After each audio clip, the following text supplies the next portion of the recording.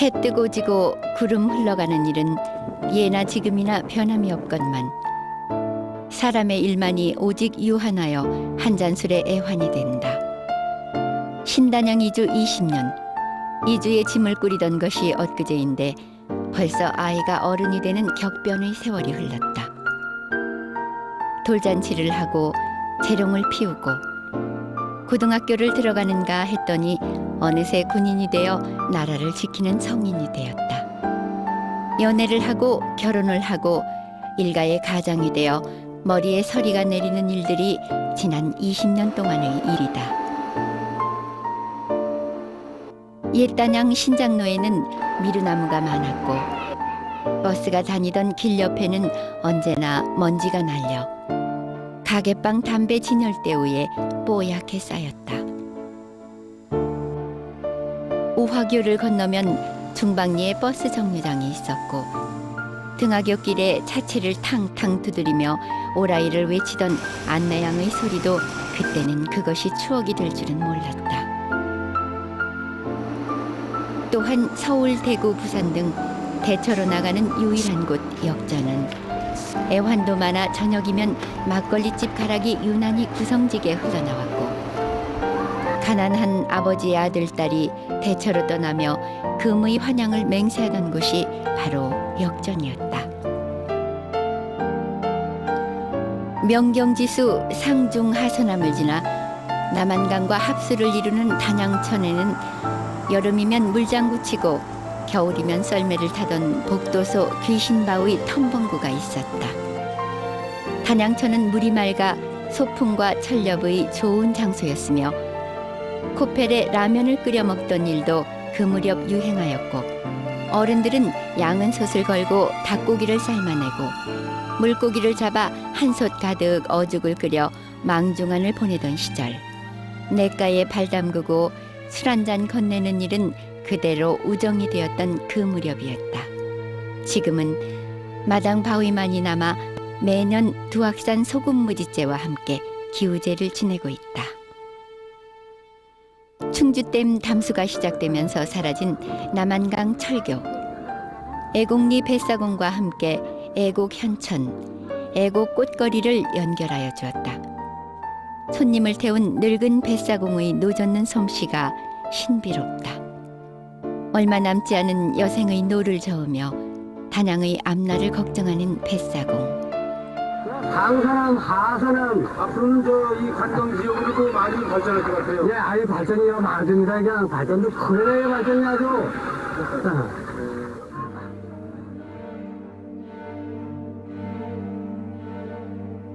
추억의 사진 속에서 지금은 할머니가 되었을 멋쟁이 아가씨도 허리를 졸라붙인 여고생도 늘씬하게 까까머리 중학생도 한 장. 삼봉은 추억의 사진 촬영지였다.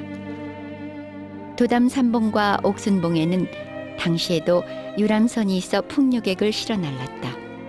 나룻배에서 철선으로 바뀌었고 충주호 담수와 함께 대형 유람선이 등장하여 나룻배의 추억은 사라졌지만 풍경을 즐기는 마음이야 예나 지금이나 변할 리 있겠는가.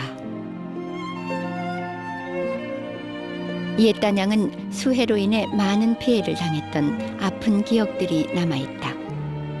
72년 대홍수는 36년 병자년 홍수와 함께 단양 지역 최고의 홍수로 기록되었다. 강물이 차올라오던 날 설마 하며 근심스런 마음들로 모여들었지만 기어코 수많은 하룻밤 하루낮 동안 음내를 삼켜버리고 말았다. 수마의 상처는 대단하였지만 아픔을 딛고 다시 일어서는 단양인 의지를 그 무엇도 꺾지 못했다.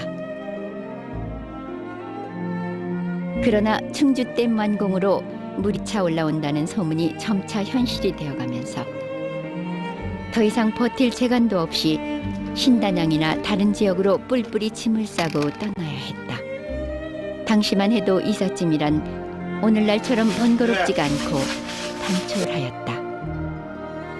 이삿짐을 싸고 고향을 떠나는 노부의 마음에는 마산 경기도로 이사를 가 보니까 사실 뭐 건 전부 기계하고 이래서 애로도 많고 아무래도 정든 고향이 낫지 않겠어요?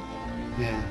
그리고 제가 한 6년 전에 나간 애가 있는데 임태규라 그러는데요. 이 방송을 들으시는 여러분들 태교 주소 알거든 연락을 좀 해주셨으면 감사하겠어요. 가족의 체온이 있을 때 집은 아름다운 법.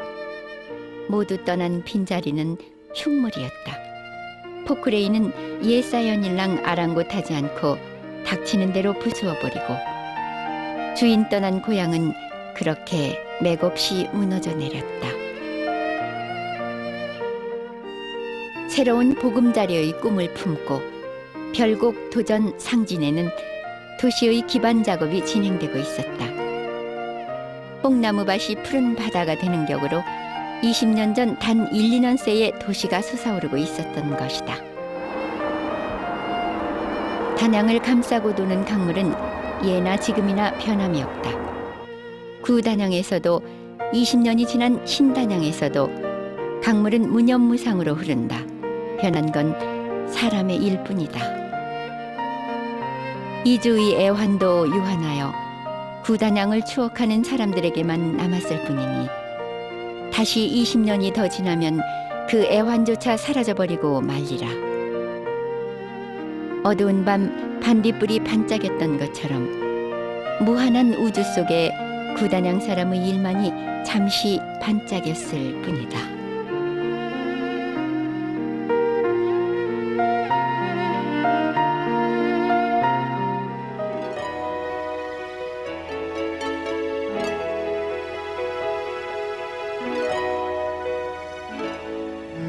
그리운 구단양 김정호 품어보고 싶은 건 동경일 뿐 생각이 아닌데도 전엔 안쓰럽게만 생각하다 안아보지도 못하고 이제야 겨우 헤매 다시 품고 싶은데도 이민 온 사람처럼 마음마저 꼭꼭 담아왔으니 남는 건 그리움, 그리움, 그 그리움만 남을 수밖에. 그래도 언젠간 품어와야지. 고집을 부려서라도 끌어안고 와야지. 그런데도 나는 공허감만 있을 뿐. 그때 그 마음 늘 거기 푸른 숲골 청랭. 도랑 건너 매달린 다래 같은 마음만 거지중천 헤맨다네.